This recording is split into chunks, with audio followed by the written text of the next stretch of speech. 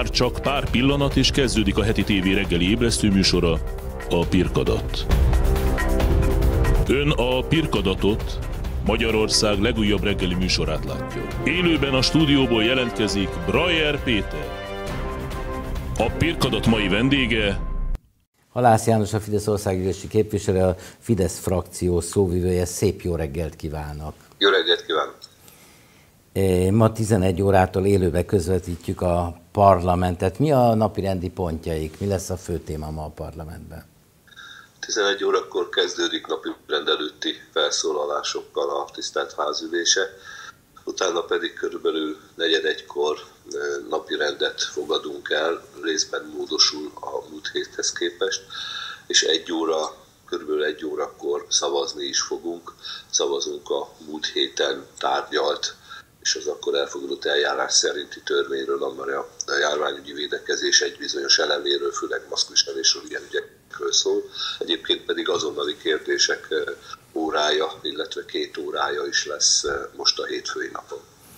Biztos, hogy ma kérdéseket fognak föltenni, hogy mi is történt a hetedik kerületi polgármesteri hivatalba, ahol bányáztak valamit. Mit tud erről? Könnyen lehet, hogy ilyen kérdés is lesz, de ez azonnali kérdés, amelyet az ülés kezdete előtt egy órával kell leadni, és a frakciók akkor adják kérdéseket, és akkor fogjuk majd tudni, tudja majd mindenki, hogy milyen témában kívánnak kérdezni a frakciók.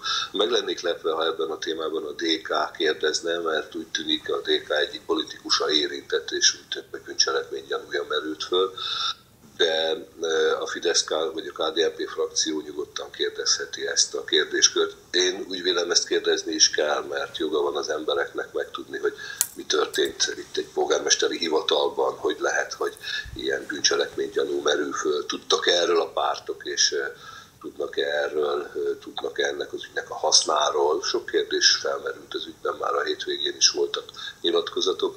Én számítok arra, hogy a parlamentben ez a téma elő fog kerülni. Elképzelhető ön volt polgármester helyettes, hogy a polgármesteri hivatal helyiségeiben valami hasonló dolog történt, és a, a helyi vezetők erről nem láttak, nem hallották? Ez nem, nem nagyon elképzelhető, szinte elképzelhetetlen, hogy egy jó gazda, aki a városban, meg a városházán is jó gazda, az ilyen feltűnő helyzetet nem lát, nem ismer fel. És ahogy itt hallottuk, itt ráadásul olyan irodáról van szó, ahol a, a kerületet vezet a Demokratikus Koalíció frakcióvezetőjének az irodája egyben, mert ez az úr frakcióvezető is volt, ahogy hallottam ahol megbeszélések szoktak lenni. A polgármester is ehhez a párthoz tartozik nagyon sokszor, ezek a megbeszélések egy frakción belül ott zajlanak. Egyébként is hát ismerni kell egy polgármesteri hivatal minden irodáját a vezetőknek. Én elképzelhetetlennek tartom, hogy erről nem tudtak a feltek felsőbb vezetők. Több egyszerű ember azt mondja, hogy a kormánypárt Budapestet elengedte ima a bizonyítási lehetőség, most itt választások lesznek kiírva, vajon elég téte egy helyi képviselői hely ahhoz, hogy a pártok komoly erőbedobással vegyenek részt ezen az időközi választáson? Minden választás fontos, és minden választást komolyan kell venni. Egy időközi választást is, egy kerületi, önkormányzati, egyéni képviselői időközi választást is. Itt majd ilyen lesz, hiszen lemondotta az érintett képviselő. De egyébként a kormánypártok nem engedték el Budapestet. Miért engedték volna el? Hát most is nagyon sok budapesti egyéni képviselőnk van, akik a körzetükért dolgoznak. A kormány rengeteg fejlesztéssel segíti Budapestet. Hát az a, az a vita, én csak, én csak idéztem az ellenzéket. Budapestért van, a kormány így áll hozzá. Rengeteg pénzt ad a kormány. Vidékiek szerint lehet, hogy még sokat is. Szóval nem engedte el a kormány Budapestet. A hétvégén láttuk, hogy az ön kedvenc városa Debrecen gyönyörű autóbusszal állt ki, és a sportolóit szállította. Na mi újság a jéghokisok körül? A hétvégén bemutattak egy buszt a DVSC új csapatszállító buszát, aminek volt egy új festése, de hát ennél azért sokkal fontosabb események is történtek otthon Debrecenben a hétvégén. Beszéljünk róla. Például folytatódott a, a Mihály naptól Márton napig című rendezvénysorozat, ahol minden hétvégén kézműves vásár, néptánc, népzenészek vonulnak föl a Dúsa Nádor téren. És nagyon érdekes volt most ezen a hétvégén, mert ez volt az első olyan hétvége, amikor a szabadtéri rendezvényeken is maszkviselés volt kötelező, és nagyon fegyelmezettek voltak a debreceniek, nagyon szépen sikerült a rendezvény, és a maszkviselés is szinte teljes volt, és ez nagyon fontos, jó dolog, de hétvégén még egy másik fontos esemény is történt. A polgármester úr bejelentette, hogy a város 50 millió forinttal fogja támogatni a szociális területen dolgozókat, mert a városnak a, a Covid járvány kapcsán való egyik fontos területe a szociális intézmény fenntartás és az ottani biztonság garantálása, és a szociális intézményekben dolgozók a város alkalmazottai. Ugye más területeken pedagógusok egyéb ott közvetlen állami alkalmazásban vannak, itt közvetlen önkormányzati alkalmazásban vannak, itt tud helyt állni az önkormányzat, és Debrecen önkormányzata helyt is áll, hisz ezzel az összeggel még inkább elismeri és segíti ezen a területen dolgozni. És honnét volt Debrecen városának önkormányzatának hirtelen 50 millió forintja? Hát a Fidesz frakciónak volt egy javaslata, és a költségvetést bizonyos értelemben átrendezték, és így, mert ezt fontos ügynek tartották. Így volt. Értem. 23. alkalmával több helyen nagyon sok kitüntetést osztottak ki. Debrecen városának egyik egyházi vezetője, illetve az egyházakon belül civil vezetője is kapott egy nagy kitüntetést, Horodisz Tamás. kapott innen, és gratulálunk neki szeretettel. A Kárpát-medence, illetve a debreceni zsidóságért folytatott munkájáért. Igen.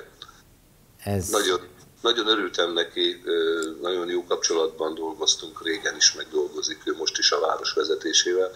Sok szép közös program valósul meg, és sok szép közös fejlesztés, ami egyébként a zsidóság életét Debrecenben igazán jó, jó, jó gazdagságát mutatja az együttműködésnek a, a virágzását, hogy nagyon megérdemelt kitüntetés. Éveken keresztül a szervezetnek a szóvivője voltam, úgyhogy tényleg nagyon szép munka, és tényleg a határon túli magyar ajkúak csőstül jöttek, és kaptak valamit hazánkból, nem csak a nyelvből, hanem a, a helyi zsidóság továbbfejlesztette őket, keblére ölelte őket.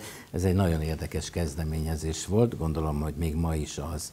Így van. Van-e valamilyen véleménye, hisz ön ugyan már nem annyira fiatal, de fiatal gyermekei vannak.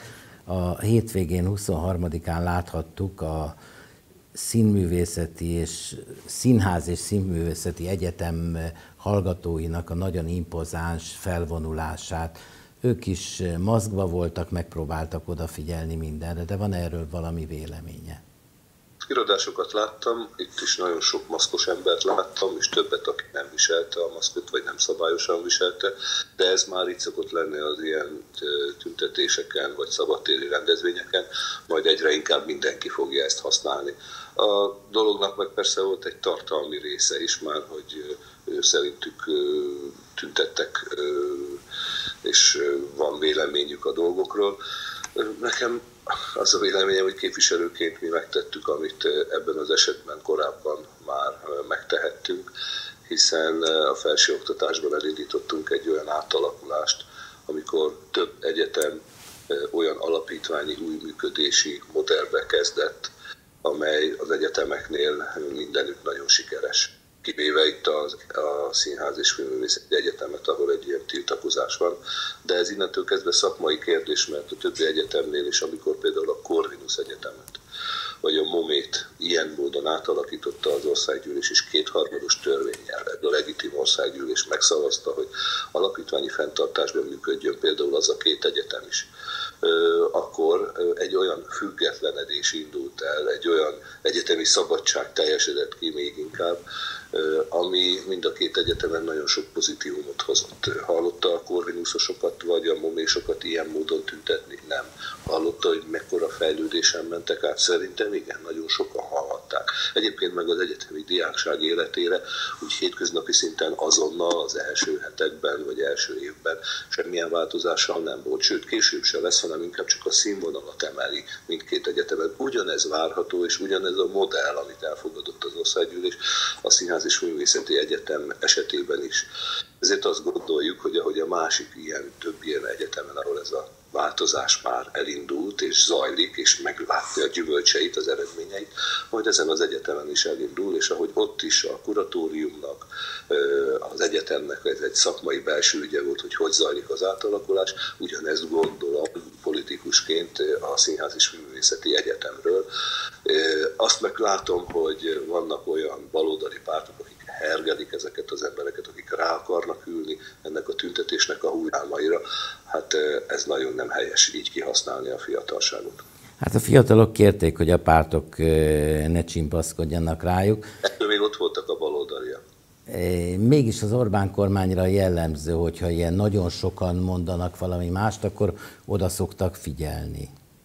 Mi most is odafigyelünk, és most mondta meg az előbb annak a figyelemnek a, a szerkezeti részét, amely más egyetemeken bizonyította ennél még nagyobb létszámú egyetemeken is, ahol ugye a szerkezeti átalakulás lehet, hogy nehezebb, ahol, ahol esetleg több ezeren tanulnak, nem több százan, bizonyította az átalakulás a sikerét. Egyébként pedig itt is jelentős milliárdos fejlesztéseket adott már a kormány támogatásul az egyetemnek, amely fejlesztésekre ezután sor kerül. És ez így volt a, a korábbi átalakulásnál is. Ezt is érdemes lenne észrevenni, hogy végre mi minden történik. Világos. Ön szerint ez meddig fog még tartani? 50 napja folyik ez a húz meg, erezd meg. Na, nem tudom, én nem is számoltam ezt. Ö, nyilván akinek ez az élete, ez a legfontosabb, másnak, akinek más dolgok foglalkoztatják, annak pedig más dolgok Hát nem, lehet, nem lehet nem odafigyelni, nem lehet nem észrevenni, hisz a lapok címoldalon hozzák, a híradások erről számolnak be. Persze, a baloldali lapok már csak ilyenek. A jobboldali lapok is említést tesznek róla. Természetesen, és erről említést is kell tenni a súlyának megfelelően, nagyon helyesen. De én nem találgatnék, hogy ez meddig tart. Az biztos, hogy a baloldal ármánykodása az, az mindig tartani fog. Tehát ebben az értelemben sok jóra nem számíthatunk, hogyha rájuk van bizalma, pedig látjuk, hogy nem csak felütik a fejüket ezen a, ezen a területen, hanem a tüntetésen is ott vannak. Ugorjunk vissza egy pillanatra Debrecen városában Debrecenben az egyetem működik, nem sztrájkolnak a diákok. Vajon az előkészületek az új gyárak építésére, a technikai fejlesztésekre hol tartanak? Hát minden megy a maga útján, ahogy ebben a világjárványban mehet. És ennek főleg az az oka, hogy Magyarországon a dolgok most már hónapok óta, a tavaszi leállás után működnek, és erre oda is figyelünk. De hát mindent áthat a, a COVID-19 járvány, és ez a, ez a helyzet, amit ez okoz a gazdaságokban és a társadalomban.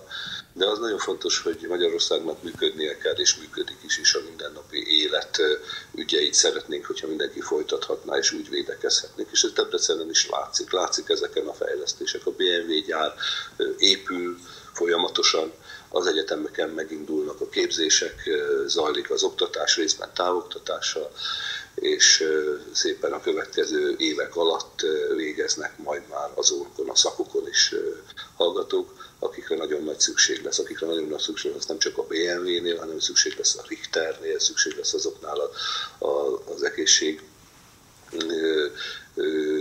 fejlesztéssel, illetve gyógyszerfejlesztéssel kapcsolatos területeken tudom. Innét folytatjuk legközelebb a pontos idő 8 óra. Köszönöm, hogy rendelkezésünkre áll. Kedves nézői, most következik egy általam vélt objektív híradó. Fogadják szeretettel, a híradó után jövünk vissza, tartsanak velünk.